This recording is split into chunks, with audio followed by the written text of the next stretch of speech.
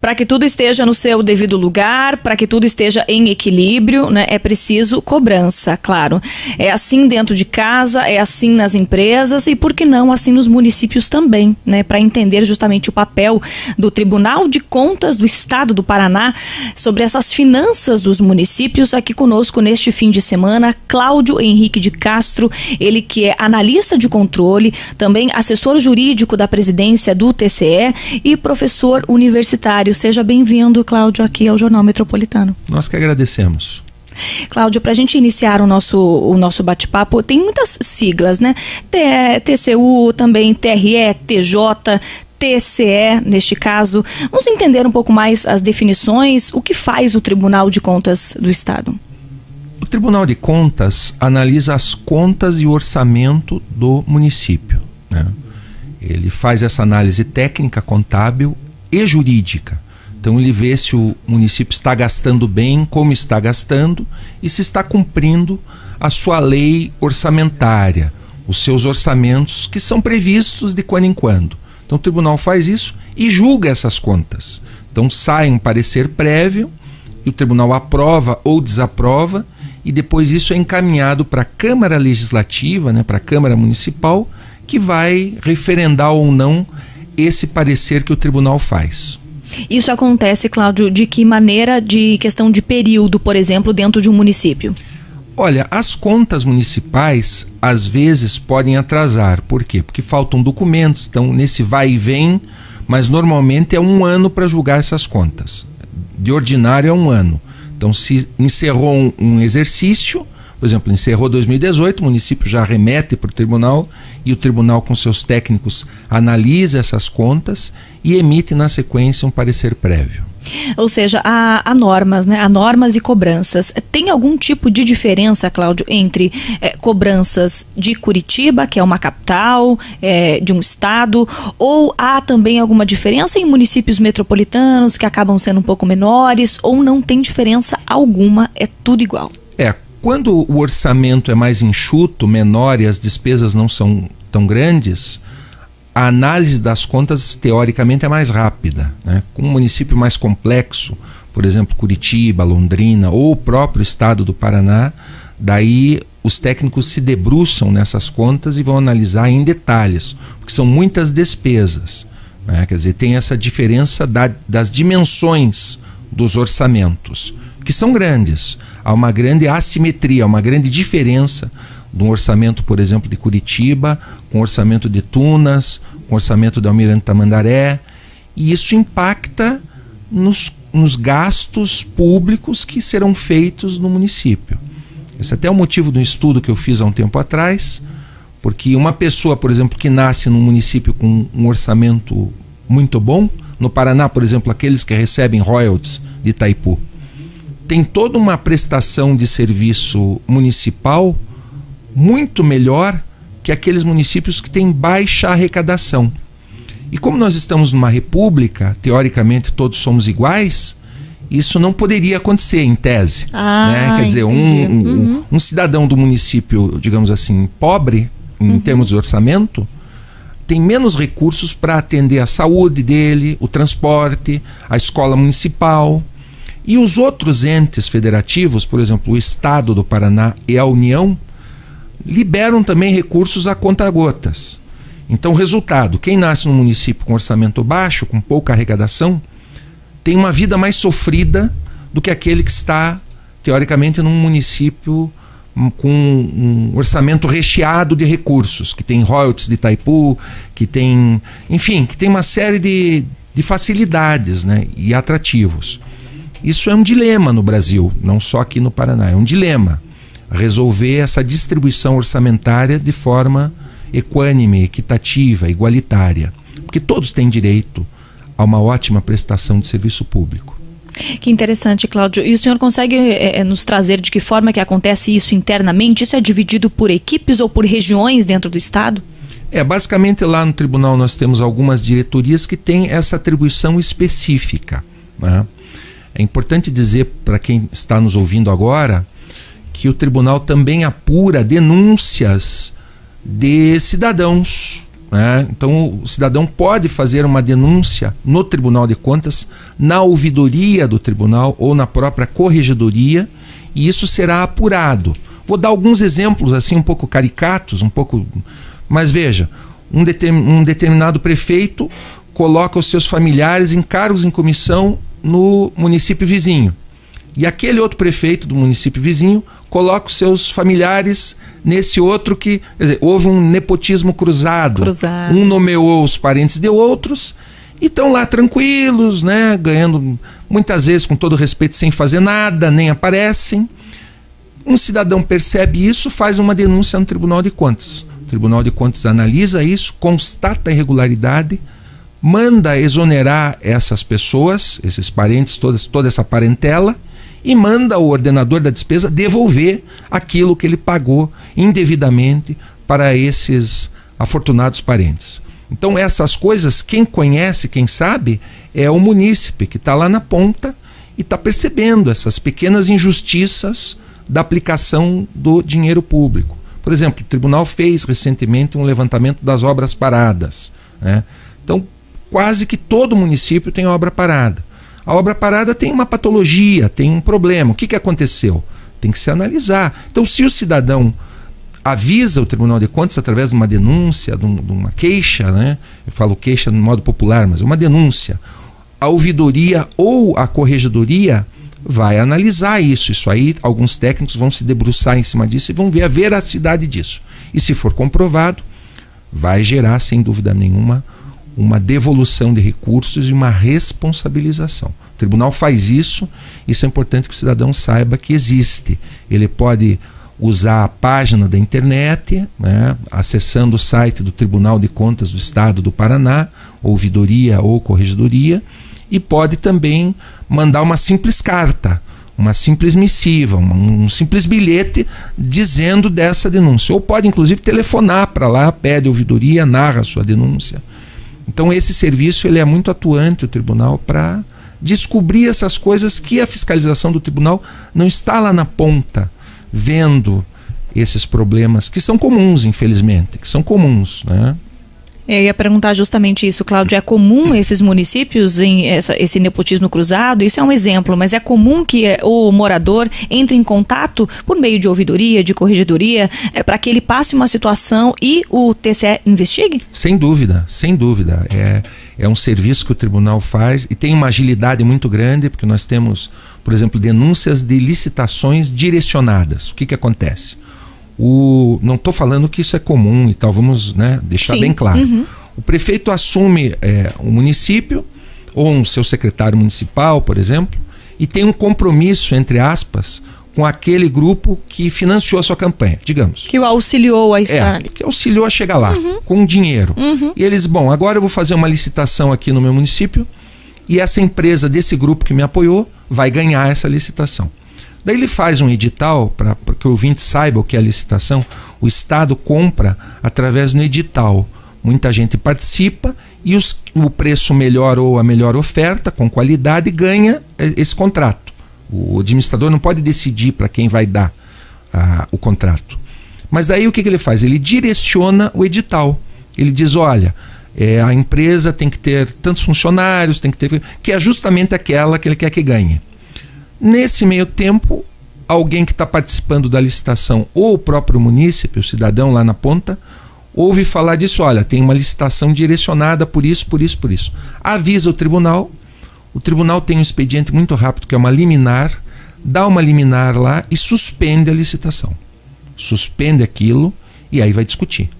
Vai ver realmente se aquela licitação foi direcionada ou não. Inclusive, nós temos um setor lá que analisa os editais todos. Analisa constantemente. É, é, nesse momento que nós estamos falando aqui, eles estão analisando os editais de todos os municípios do Paraná e vendo se tem alguma irregularidade ou não. Esse processo licitatório, inclusive, é algo é, necessário, né? É preciso que todas as empresas tenham essa oportunidade de participar deste, deste processo, mas é algo, então, que, pelo jeito, tem uma demanda muito grande no, dentro do Tribunal é, tem, de Contas. Eu diria que é uma demanda no Tribunal, do Tribunal de Contas da União, isso é muito grande, e no Brasil, porque muitos administradores acham que o dinheiro público é dele É, eles gastam como se fosse dele. A gente está vendo agora, por exemplo, o Supremo Tribunal Federal com uma licitação lá de alimentos que inclui lagosta, bacalhau, vinhos premiados com quatro premiações internacionais. Inclusive eu escrevi sobre isso recentemente.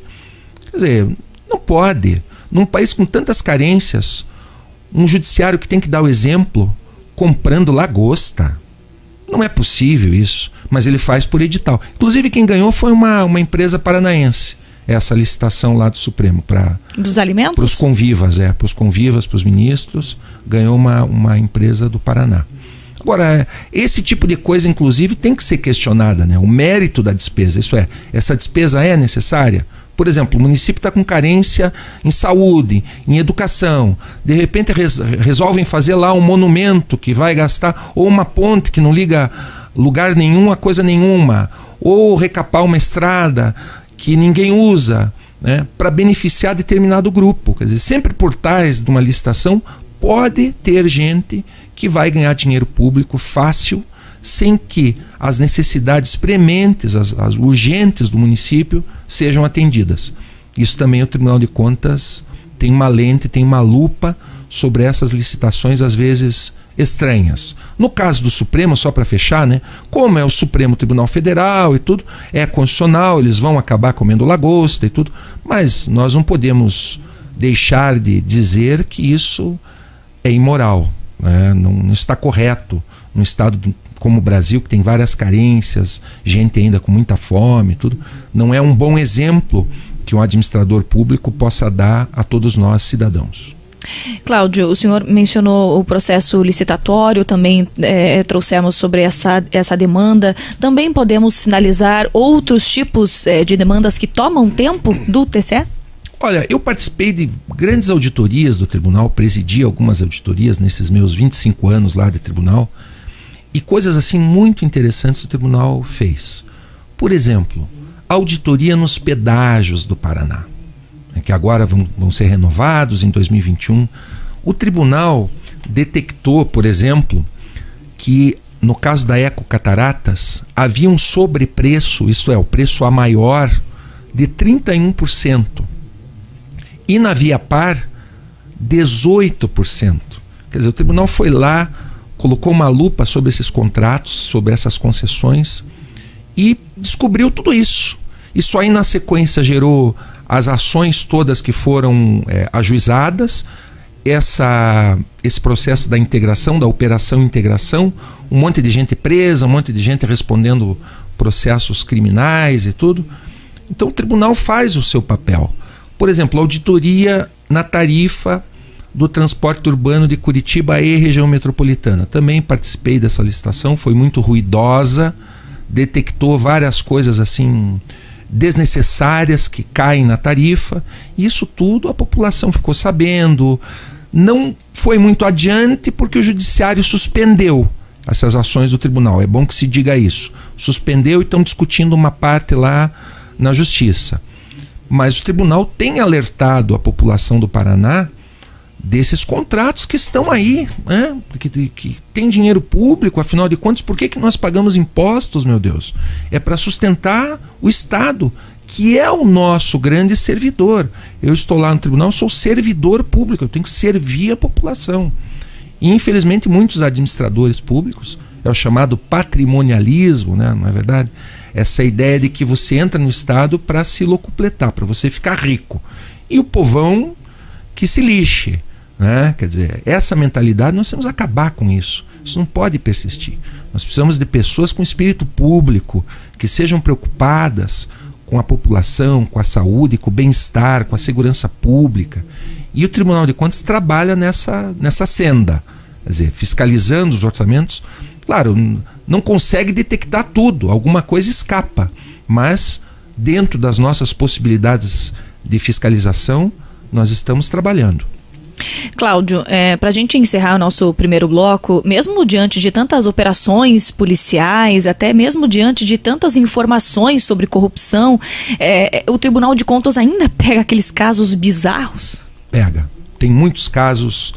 Ó, por exemplo, vou dar um exemplo de, de uns anos atrás aí. Claro que eu vou evitar citar município. Sim. Mas gasolina.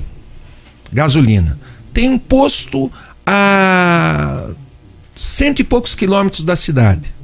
E tem um posto ou dois na cidade.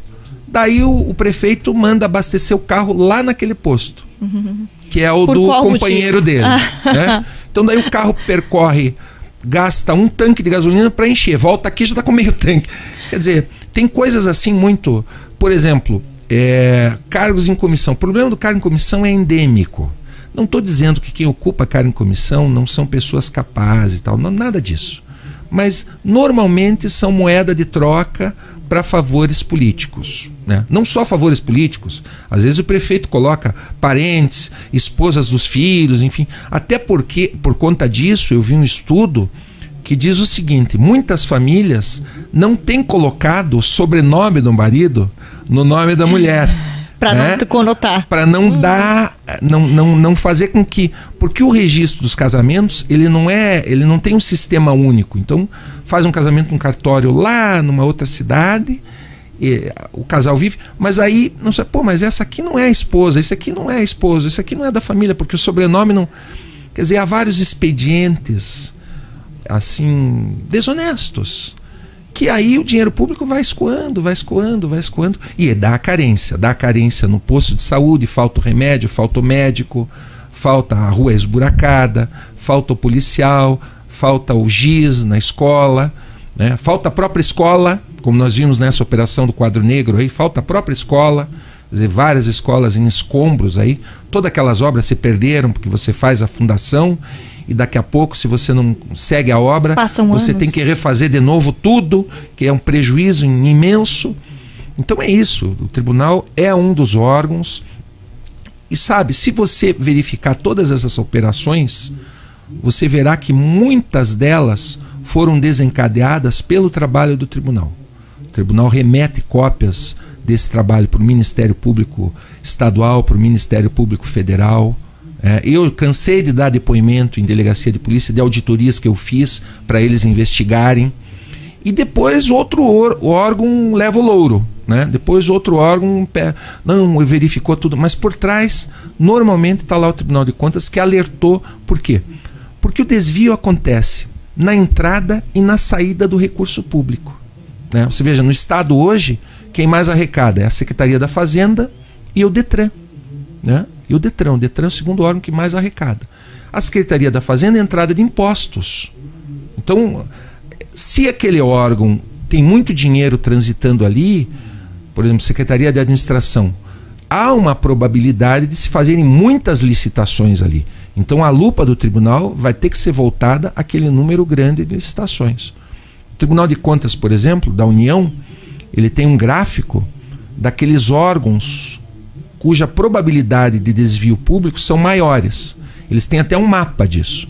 Então eles estudaram o passado, estudaram os controles que aqueles órgãos têm e tem um gráfico diz, olha, tais e tais órgãos na União são mais propensos a, né? a, desvio de recursos públicos. Olha que interessante. É, tem um, um mapa prognóstico.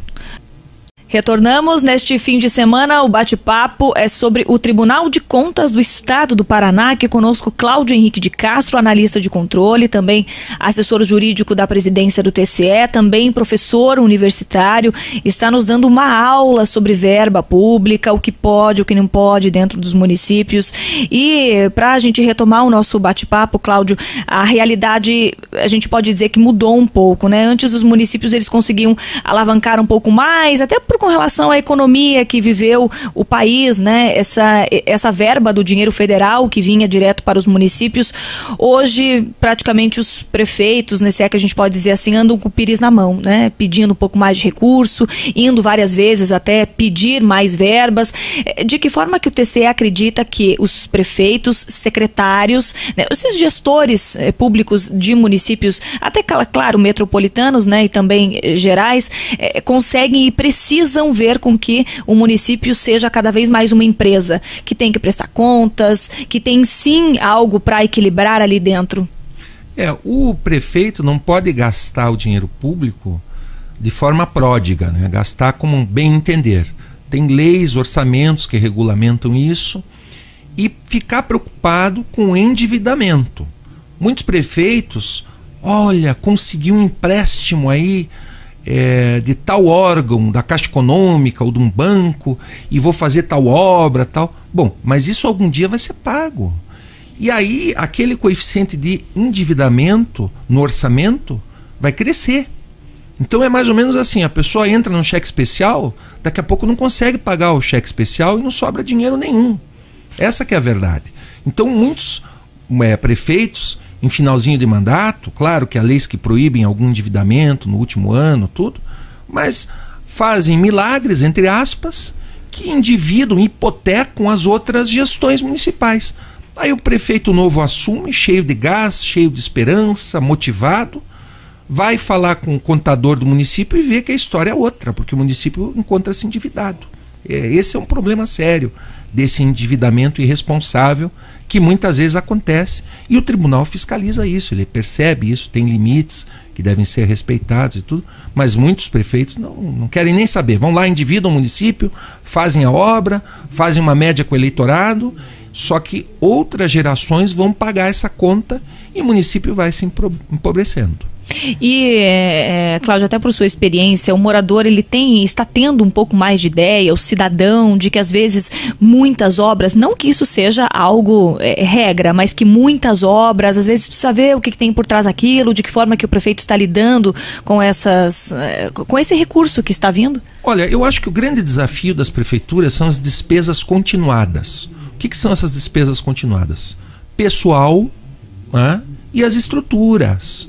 Então, o município tem que se preocupar. Por exemplo, tem tantos professores na escolinha municipal. Eu falo escolinha é, carinhosamente. Sim. Né? E aí, duas, três professoras vão se aposentar. Tem que repor essas, essas pessoas, tem que fazer um concurso repor.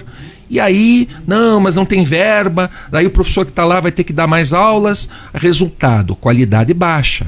Então, as despesas continuadas, por exemplo, manutenção. As grandes obras, até esses dias conversei com um engenheiro muito experiente e ele me contou isso. As grandes obras no Brasil de concreto foram feitas a partir da década de 60. O concreto sem manutenção, assim com muita sorte, dura 50 anos. Depois não tem jeito, a obra se esfarela. Então, se não der a manutenção a pontes, as estruturas, né, pintar, é, as goteiras, as infiltrações, se não der essa manutenção, o patrimônio público vai ruir. Então, o meu conselho seria o seguinte: preocupe-se, prefeito, com as despesas continuadas, que são pessoal e manutenção da estrutura. Se isso estiver redondo, redondinho, daí ele dá um passo à frente. Ele vai para uma obra que precisa ser feita, ele pega um, um uma ponte, uma nova escola, uma nova creche, um hospital municipal, enfim, ele vai, ele vai, né, vai dar um, um passo adiante. Então não adianta querer abraçar o mundo, que o orçamento não vai deixar ele fazer isso. E é importante que o cidadão fique atento a isso. Quer dizer, como é que está a qualidade dos serviços públicos municipais, por exemplo. Claro, também nós temos que ver os serviços públicos estaduais e federais que tem a mesma lógica, né? Esse limite prudencial de pessoal e manutenção da estrutura. Isso aí já está de bom tamanho, ao meu ver. O senhor também nos explicou que é, logo depois é, dessa fiscalização dentro do município, isso vai para a Câmara Municipal. Né? Isso tem tido bons resultados? A Câmara Municipal dos municípios é, tem feito esse exercício de fiscalizar de forma boa, positiva, no seu ver? Olha, eu fui diretor da diretoria de execuções e nós fizemos uma estatística das contas que o tribunal desaprovava e as câmaras aprovavam. Porque daí a Câmara aprova politicamente. O que eu creio que essa estrutura jurídica está errada, porque uma vez o tribunal desaprovando, a, a Câmara não tinha que reverter esse julgamento. Então, mas normalmente o parecer prévio que sai do tribunal é acatado na Câmara, normalmente. Né? Mas acontece da Câmara, por exemplo, um parecer prévio pela desaprovação, a Câmara tem uma, um, um quórum de apoiadores do prefeito, vão lá e revertem e aprovam. E acontece o contrário, também é um número pequeno, do tribunal aprovar e a Câmara tem uma maioria contrária ao prefeito, vai lá e desaprova. né? Agora, isso tudo vai gerar a ineligibilidade quando for mandada essa lista para o Tribunal Regional Eleitoral. O Tribunal Regional Eleitoral vai analisar esse parecer, essa desaprovação que o tribunal fez e vai dizer se aquele político poderá concorrer na, nas próximas eleições ou não. Né? Então, isso também é uma preocupação para o prefeito porque se ele não fizer as contas certinho lá do município, ele pode fazer uma média com o eleitorado, né, com alguma obra, com alguma festa, com alguma coisa, e lá na frente ele tem as contas desaprovadas e o TRE confirma a sua ineligibilidade, acabou a sua carreira política. Daí o que, que eles fazem? Lançam a esposa, lançam um filho, né? lançam algum parente próximo que também já ocupava cargo em comissão, né? para continuar aquela família dentro do mando do poder político do município. O que é um erro também. Né? É um erro, porque é uma continuidade indireta, a meu ver. Cláudio, o senhor tem aí 25 anos de Tribunal de Contas do Estado, o senhor tem uma experiência vasta, né? pode nos trazer esse aspecto pessoal. O senhor acredita que o mau uso das verbas públicas acarretam diretamente em políticas públicas? É, o mau uso das verbas públicas é o grande causador das mazelas sociais que nós temos. Eu fiz um estudo, a propósito, que eu dou uma aula, uma especialização de democracia, eu fiz um estudo que comparou na nossa região metropolitana aqueles municípios com, com os menores orçamentos municipais. E nesses municípios, os subsídios dos prefeitos e dos seus secretários eram os maiores se comparados com aqueles municípios com bons orçamentos. Então isso quer dizer o seguinte: um, um, um município com um ótimo orçamento paga menos subsídios para o seu prefeito e para os seus secretários que aquele município, entre aspas, pobrezinho. Nesses municípios mais pobres, o prefeito, o salário do prefeito é uma festa. O salário dos secretários é outra festa. Quer dizer, isso é uma inversão de valores. Né? Eles não poderiam. Aliás, vamos tomar o exemplo da Itália. Na Itália nós temos o síndaco. O síndaco não recebe um tostão. Ele tem o seu trabalho, uma parte do, do seu expediente ele vai, presta serviço lá no município e não recebe um tostão.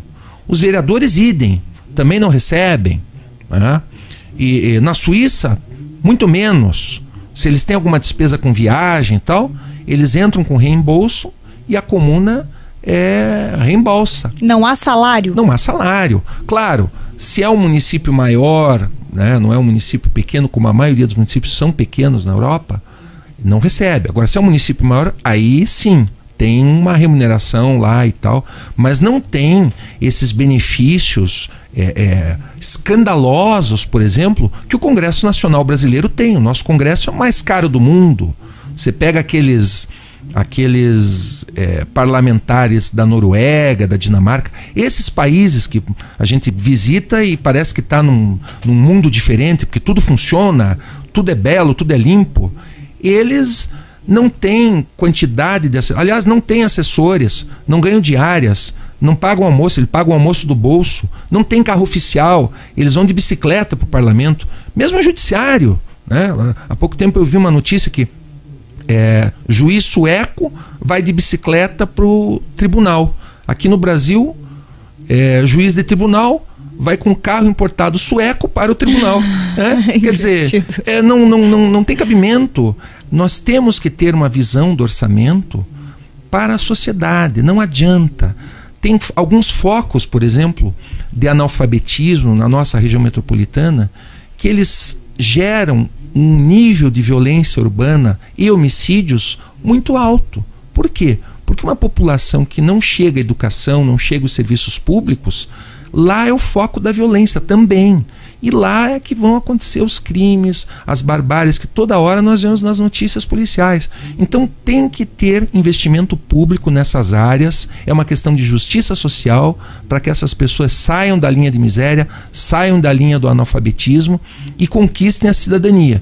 E isso você faz com orçamento público, orçamento público que distribui bem. Então quem gasta bem tem uma vida melhor. E esse é o exemplo, por exemplo, da Europa da Itália, desses países que, é, claro, tem os seus problemas, né? Tem criminalidade, tem, tá lá a Cosa Nostra, a máfia, é, a máfia Camorra na Itália, enfim, tem os seus problemas. mas não tem essa coisa desenfreada que o Brasil está enfrentando, seja na questão do feminicídio, seja na questão de abuso é, sexual de crianças, então, uma série de mazelas. Isso é investimento público. E o investimento público é, é responsabilidade do Estado. Né? E o cidadão tem que cobrar isso. O tribunal, como eu falei, a ouvidoria lá, ela está lá para isso, para as pessoas reclamarem, para as pessoas oferecerem as suas demandas e tudo isso será analisado por técnicos que vão estudar esses processos e vão dar um parecer ao final e ora bolas os administradores públicos que cometerem as suas falhas vão pagar por isso, vão responder perante o tribunal e depois em ações penais, enfim, que se for grave a situação, perante os órgãos aí do poder judiciário, enfim. E Cláudio, trazendo para a nossa realidade, como que o senhor acredita que aqui isso funcionaria bem, essa questão até orçamentária, de salários, fazendo um contraponto com o que acontece lá fora, claro, em países bem desenvolvidos, né, pela sua carga até de experiência, o que, que o senhor acredita que daria certo aqui no Brasil? É, na verdade, quem discute orçamento é o parlamento, é o poder legislativo. Só que no Brasil, o poder legislativo faz, às vezes, do poder executivo. Então é no legislativo, por exemplo, é o vereador que arruma ambulância, que arruma a vaguinha na escola, transferência, que arruma a fila lá da operação e tal. Ele faz um trabalho do poder executivo para manter o eleitorado dele. Né? Essa que é a verdade. E aí no, no, no Congresso Nacional tem aquelas emendas que cada deputado e cada senador tem ele pega aquelas emendas orçamentárias e joga lá nas obras dos municípios pelos quais ele foi eleito. Aí já gera uma, uma assimetria de investimentos. Porque tem um município mais carente do lado, que por causa que aquele povo não votou naquele político, vai perder aquele investimento. Então começa por aí. Os investimentos não têm muita lógica do, do orçamento. Né? E quem decide é o Poder Legislativo. Então, o, o, o deputado, o senador, o vereador, infelizmente, muitos deles não têm o espírito público de pensar que ele resolvendo só o problema daquele seu curral eleitoral, entre aspas, daquela, daquele município que o elegeu, ele vai estar tá resolvendo, ele vai estar tá resolvendo o problema eleitoral dele. Mas do lado, o bem próximo tem uma população que está precisando talvez mais daquele investimento pela qual ele está direcionando. É o caso, vou dar um exemplo, não vou dar citar nomes, de alguns municípios que recebem royalties no Paraná, Itaipu, são muito ricos, e daqui a pouco um município do lado, você passa assim, parece que está mudando de mundo. Você passa, tudo bonito, tudo com. Aí você passa um pouquinho estrada, pronto, tudo esburacado, tudo caindo aos pedaços, tal coisa. Quer dizer, não pode isso. Nós temos que ter uma racionalidade de investimento. Por quê? Porque isso gera carências, gera os problemas sociais, gera analfabetismo, violência urbana, gera esses problemas que estouraram no Brasil, né? Quer dizer, então aí ninguém suporta mais essa vida nas cidades. Cláudio, quero agradecer a sua participação. Nosso bate-papo foi muito interessante. Se deixasse aqui, a gente continuaria até o fim do programa.